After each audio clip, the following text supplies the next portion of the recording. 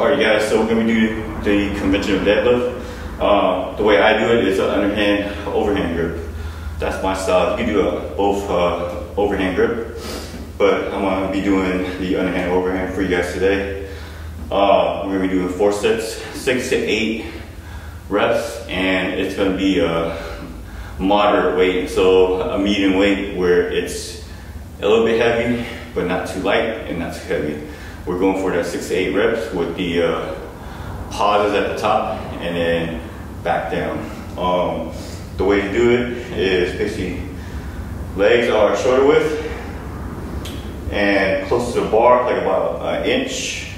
Now, grab the bar just like this, and when you're loading up, breathe in, keep that core tight, embrace it.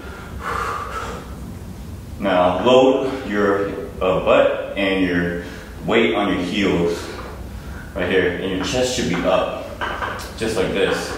And you should, you should be feeling your hamstrings. Um, this is gonna work your lower back and overall upper back as well, and you're, you're gonna be feeling your hamstrings. Now, to drive up, I want to breathe in, load up.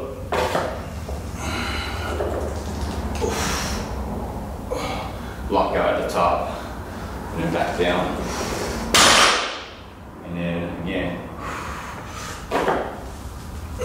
Chest up always.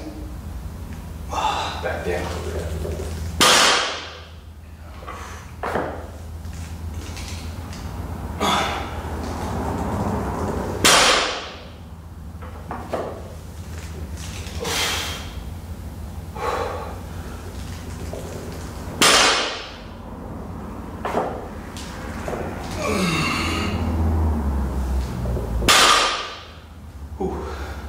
Now, when you're driving up, you're gonna be just like this, your weights all on your back side with your uh, glutes hinge out.